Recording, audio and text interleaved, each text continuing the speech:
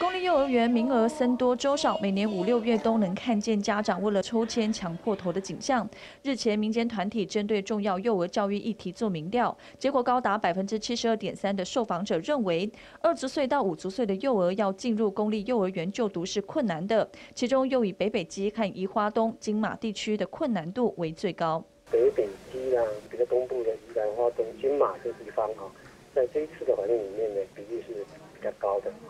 这也可以显现出说，所谓的幼儿公共化，或者是呃往下延伸啊，跟这个一直在这个对呃家长所凸显啊。调查也发现，目前台湾公私立幼儿园比例是三比七，加上私立幼儿园收费高，有三成的民众认为应该缩短公私立幼儿园收费差距，并广设公立幼儿园。像是乌来地区就有家长反映，若没有抽到公立幼儿园，就只能牺牲孩子的受教权益，因为私幼学费高昂之外，还得增加上下学的交通成本。遥远有一段的距离，从乌来要到新店也相当坐车要算。最快就是半个小时，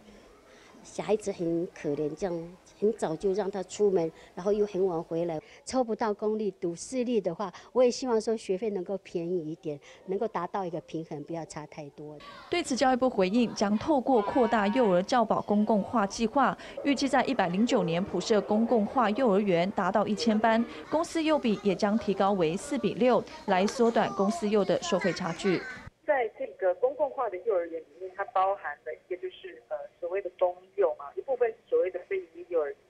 那非营利幼儿园的收费，它就会介在公幼跟私幼的这个中间啊，所以对于收费的这个呃拉近，台湾少子化问题严重，年轻人不敢生儿育女，幼儿教育的经费负担是一大关键。基金会进行这项幼儿民调，希望能有效提醒政府正视幼教问题。记者马斯比亚新北市乌来采访报道。